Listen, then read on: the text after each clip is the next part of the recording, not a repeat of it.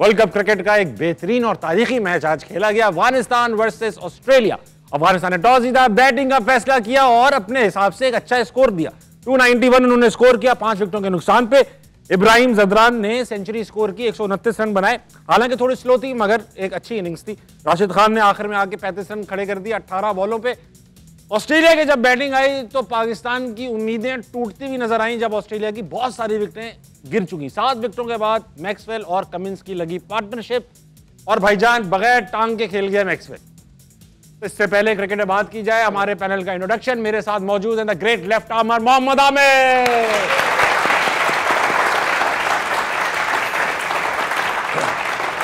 फिर यहाँ पे मौजूद है the great allrounder Imad Wasim और इन दोनों के दरमियान आज के match referee Abdul Raza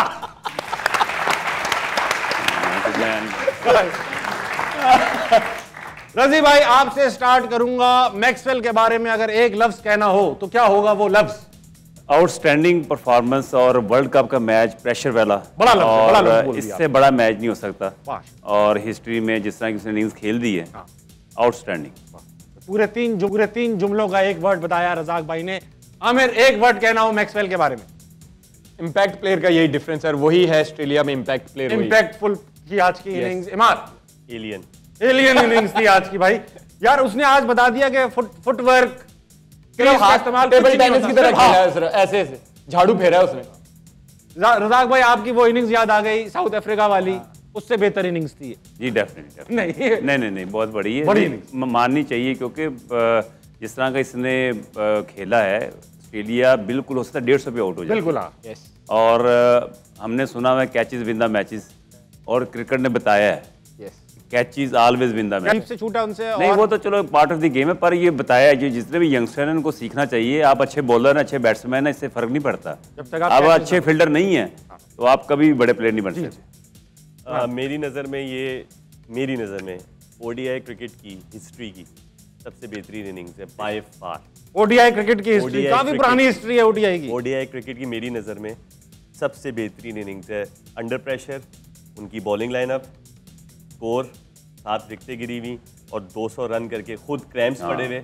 I think this is one of the best innings in the history of ODI cricket definitely अच्छा भाई आज की इनिंग्स पे एक मीम है दिखाओ मीम मियाँ। अंडरटेकर की तरह खेलता रहा वो लड़का। और क्या है? कुदरत का निज़ाम और ग्लेन मैक्सवेल एक दूसरे को देख के हंस रहे हैं जबकि अफ़गानिस्तान गम में। जीता हुआ मैच था ऑलमोस्ट हम तो बिल्कुल समझ गए अफ़गानिस्तान के साथ पता क्या हो गया? दो दफ़ा नसीम शाह आज ग्ले- ग्लेन हाँ। मैक्सवेल। नसीम मैक्सवेल के नाम से जोड़ी बन चुकी है। दिखाओ बेटा। इरफान पठान राइट नाउ हाँ सही है आज उनका डांस बनता आज मैं एक्सपेक्ट कर रहा था कि रमीज भाई जाके ऑस्ट्रेलियन के साथ डांस करेंगे क्योंकि वो भी वहाँ वो थे नहीं थे आई थिंक नहीं थे? डांस थे। थे थे ना उनको डांस करना चाहिए थोड़ा बहुत करना चाहिए था उनको। अच्छा इमाद अब ये बताइए कि क्या पोजीशन है चौथे नंबर का क्या होगा?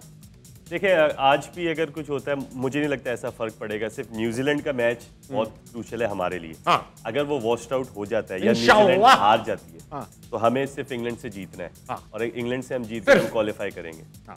क्योंकि अगर न्यूजीलैंड जीत जाती है तो हमें बहुत बड़े मार्जिन जीतना है। वो वो थोड़ा टफ हो जाएगा लेकिन न्यूजीलैंड हारती है या बारिश हो जाती है क्योंकि प्रिडिक्शन है बारिश की। तो फिर पाकिस्तान को सिर्फ़ इंग्लैंड से जीतना है। बिल्कुल ठीक बात है। भाई आज की प्रोडिक्शन दिखाओ जरा। इमाद और मैंने कहा अफ़गानिस्तान ऑलमोस्ट हम जीत गए थे मगर रजाक भाई और आमिर ने कहा Australia experience you know experience नहीं दूर की सोच टोटल कुदरत का निज़ाम। दूर की सोच रही चाहिए नहीं नहीं नहीं जब एटी वन फॉर सेवन थे तो मैं ट्रीटमेंट करवा रहा था।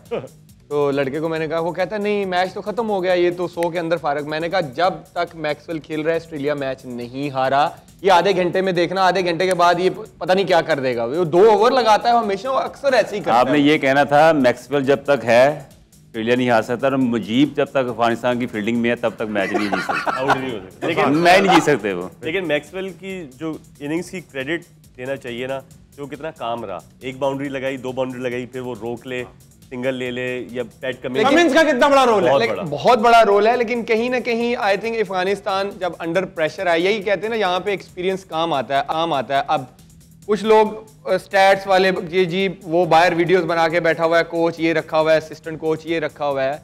अब एक बंदे को कॉमन सेंस है पता है कि क्रैम्स आ रहे हैं वो मूव नहीं कर पा रहा। आप फिर उसको उधर बॉलिंग कर हाँ। अगर प्लेयर अंडर सम टाइम मैं एज अ बॉलर मुझे भी मार पड़ रही हो मुझे नहीं समझ आती। प्रेशर में नहीं आती समझ दो तीन प्लेयर्स आ जाते हैं।